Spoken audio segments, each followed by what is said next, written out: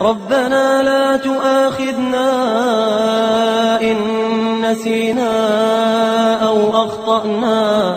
ربنا ولا تحمل علينا إصرا كما حملته على الذين من قبلنا.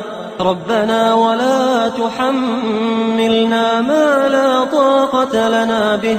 واعف عنا واغفر لنا وارحمنا أنت مولانا فانصرنا على القوم الكافرين.